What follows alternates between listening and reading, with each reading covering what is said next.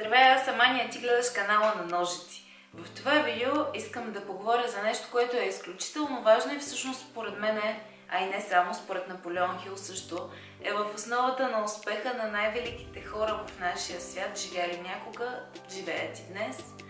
Това нещо беше в основата на това ние с Деси да тръгнем от абсолютна нула и да изградим реален бизнес, който печели реални пари и излиза на печалба – това нещо е в основата на това ние също да подкрепяме хората, които ам, извървяват допълнителната миля. Това е термина.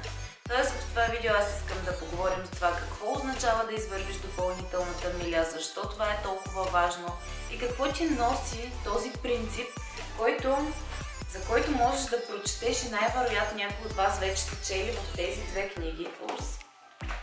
Едната е Мисли за богатяване на Наполеон Хил, това за мен е една от задължителните книги, които трябва да прочетеш, ако искаш да правиш бизнес и въобще ако искаш да имаш по-високи постижения в живота си.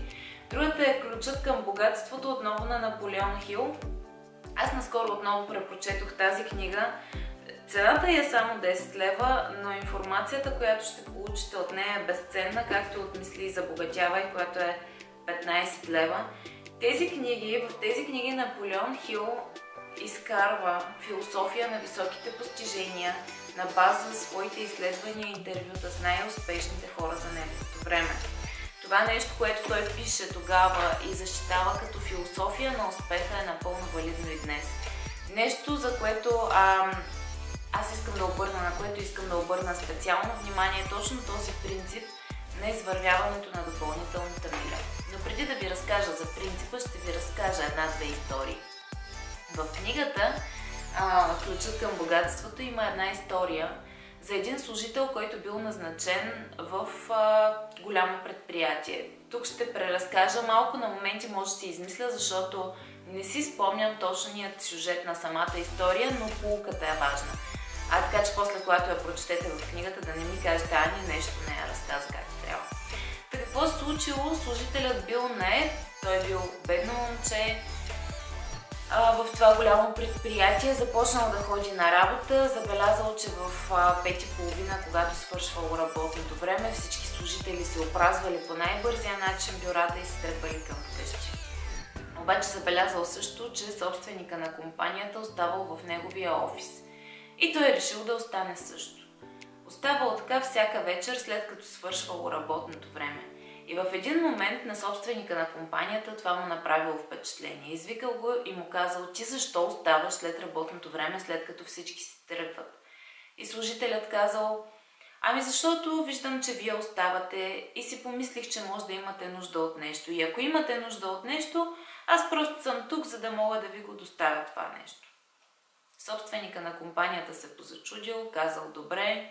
Момчето продължило да остава и след това в на работа след работно време. Собственика на компанията продължил да забелязва това нещо. В един момент започнал да иска услуги от момчето.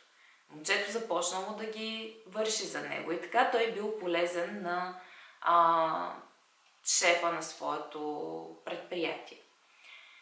В един момент този човек, собственика на компанията, решил да пробва неговите умения и, и го назначил да на друга служба да поеме по-висока отговорност.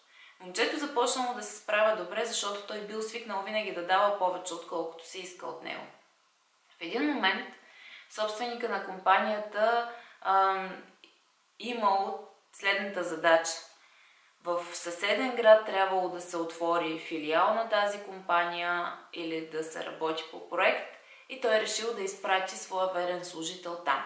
Интересното е, че този служител бил от административната част на компанията и той всъщност нямал никаква представа как се случват процесите в стоманодобивната индустрия, ако не се лъжат, беше някаква точно такава по-специфична индустрия.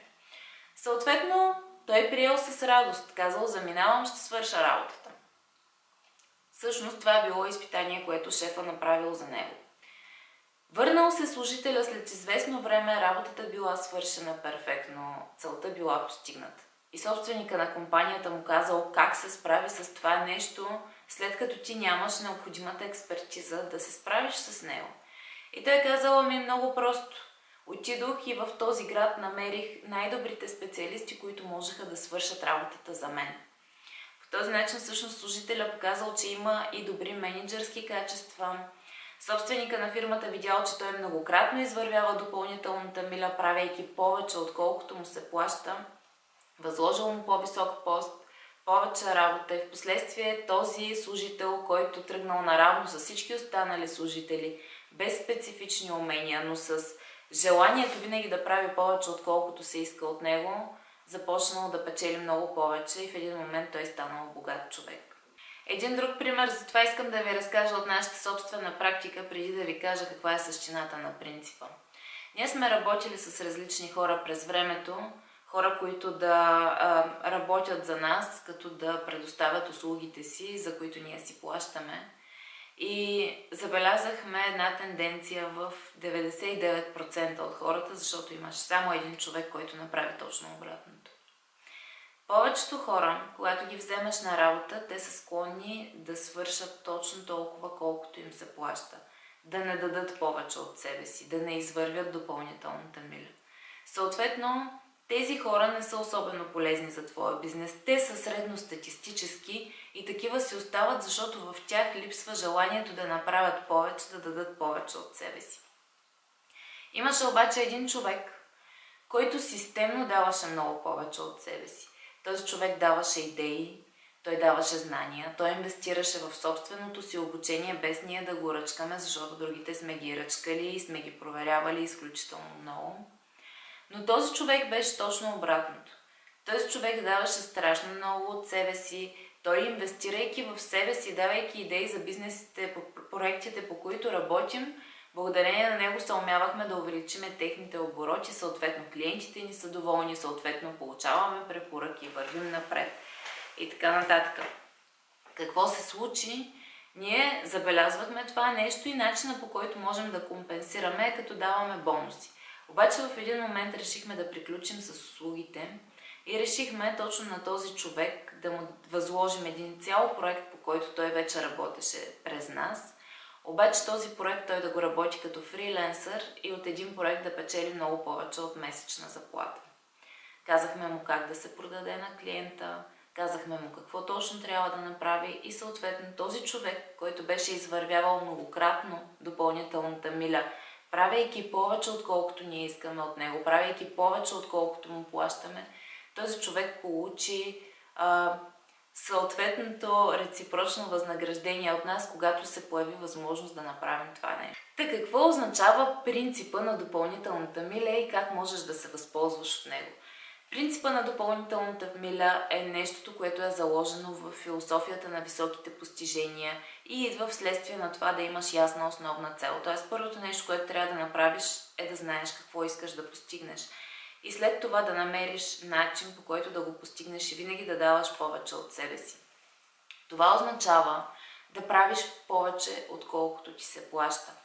В контекста на а, продуктите на бизнеса, на онлайн предлагането, понеже това видео е част от безплатните видеа към нашия курс за начинаещи от идея до разпознаваем бранд онлайн, за който ако не знаеш, ще намериш линк отдолу под това видео. Какво означава всъщност този принцип в този контекст? В контекста на социалните мрежи да извървиш допълнителната миля означава вместо да пуснеш директна оферта и да кажеш ела да купиш това нещо от мене, да направиш поредица от безплатно съдържание, с което ти да помогнеш на своя таргет маркет да разбере, че има проблем, да види как може да реши проблема, да му помогнеш да започне да решава този проблем и тогава да му предложиш услугата си. В работата с клиенти принципът на допълнителната миля означава освен да му продадеш на клиента продукта или услугата си, да дадеш толкова високо качествен сервис, толкова високо качествено обслужване, че клиентът да остане очарован. Наскоро с Деси бяхме в един наргиле бар в студентски град, където а, аз се почувствах като студентка отново, но това няма никакво значение. Момчето, което ни обслужваше, беше първо изключително любезен, второ връщаше се много често до масата, за да проверява дали всичко е наред, винаги с усмивка. Забелязахме, че за другите маси прави абсолютно същото. Отива, говори си с хората, изгражда лични взаимоотношения. И с Деси си говорихме, че това момче ще успее. Това момче дава World Class сервис. Той е малък, той е сигурно няма и 20 години. Обаче той дава толкова добро обслужване, че хората се кефят. Ти отиваш в този бар не просто да пушиш на аргилето.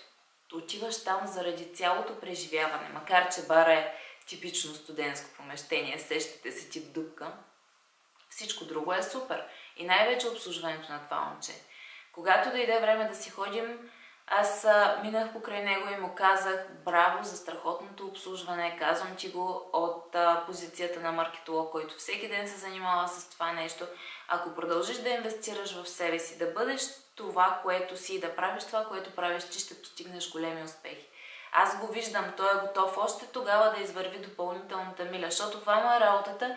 Работата му по принцип е да отиде да сервира, да отсервира, да вземе парите и толкова. Обаче не. Той отива, питате всичко наред ли, е, изгражда комуникация с тебе, завързва разговор. Прави цялото преживяване да бъде приятно. Така че каквото и да продаваш онлайн или офлайн, няма никакво значение.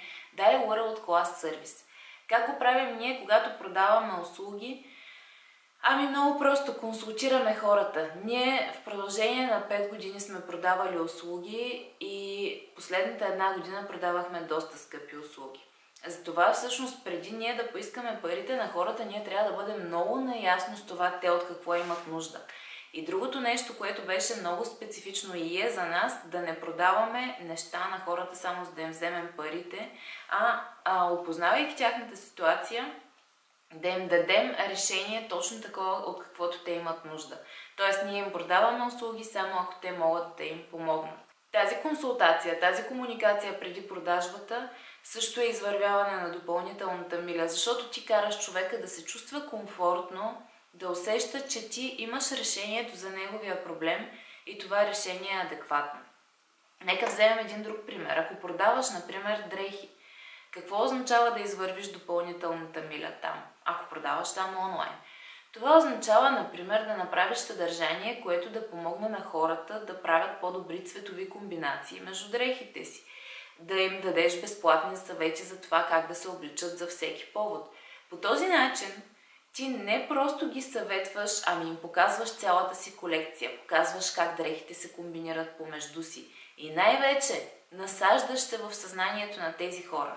Грешката, която повечето търговци правят, е, че искат в момента, в който пуснат реклама онлайн, веднага да затворят продажба. Това не става така.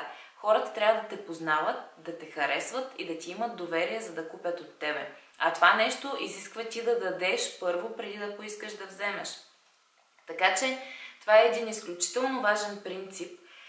Какво означава накратко? Да извървиш допълнителната миля означава винаги да даваш повече от себе си. Давам ви пример още един с обучението, което правим Copy Social Академия. Първото пускане, първото отваряне на академията беше през лятото. Ние го пуснахме на много по-ниска цена, отколкото трябваше, отколкото по принцип това обучение е ценообразувано. И съответно за първата група студенти ние го обявихме публично, че те ще получат много повече, отколкото а, която и да е група на тази цена. Съответно в процеса на работа ние решихме да дадем още повече, защото плана беше да направим няколко Facebook лайфа, в които отговаряме на въпроси. Съответно във Facebook групата ни хората могат да пишат, да задават въпроси, ние да ги консултираме онлайн. Какво направихме? Направихме Zoom разговор, в който всички могат да се включат с камерата си и да говорим директно по техния казус. Получи се чудесно. Направихме още нещо, направихме офлайн среща. Когато направихме тази офлайн среща, вече нещата минаха на едно съвсем различно ниво. Ние с всяко от тези неща извървяваме допълнителната миля, като имайте предвид, че персоналните консултации, както в нашия сектор, така и във всеки друг, са доста скъпо нещо, и ние ги даваме като бонус на нашите курсисти, без да искаме абсолютно нищо в замяна. Единственото, което искаме е да ни кажат какви са техните проблеми, за да можем да им помогнем. Защо? Защото това ще ни помогне да подобрим продукта, да го направим още по-добър, още по-полезен. Съответно, хората, които са в нашия курс, те виждат, че всеки път ние извървяваме тази допълнителна миля. Те започват да го правят за своите клиенти, т.е. ние даваме този пример на тях и ефекта става като геометрична прогресия. В момента вие го чувате от мен това нещо. Надявам се да вземете посланието ми и да започнете да го прилагате веднага в своя бизнес, защото и в своя живот, не само в бизнеса, в отношенията ви с хората, това нещо ще предизвика огромна промяна. Не дайте да правите само толкова, колкото се изисква от вас. Винаги направете повече, винаги дайте повече от себе си и това нещо ще се върне при вас десетократно, стократно умножено. Така че, приятели, надявам се да разбрахте какво означава да извървиш допълнителната миля и най-вече надявам се, веднага след като изгледате това видео, ако имате нужда от повече обяснения на тази тема и да нямате, аз ви препоръчвам да прочетете тези две книги. Не съм рекламно лице по никакъв начин на тях, просто са а, две невероятни книги, които служат за поставяне на основи. А, и след това винаги да извървявате допълнителната миля, защото ако следвате този принцип в живота си, наистина няма шанс да се провалите. Щом аз и Деси тръгнахме от абсолютна нула, обаче бяхме склонни от ден едно винаги да правим повече, отколкото ни се плаща, ние стигнахме до там, до където искахме. Ние си постигнахме целта. В момента имаме възможност да работим работата, която обичаме, да се наслаждаваме на свободата и на времето си, да пътуваме, и това е единствено благодарение на а, нашето желание, на нашата склонност винаги да правим повече, отколкото се иска от нас. Така че това нещо работи, започнете да го прилагате веднага, това нещо ще ви се върне в продажби, не очаквайте ей така моментална възвръщаемост. Това не е някаква магия, така че а, бъдете търпеливи, всичко се случва.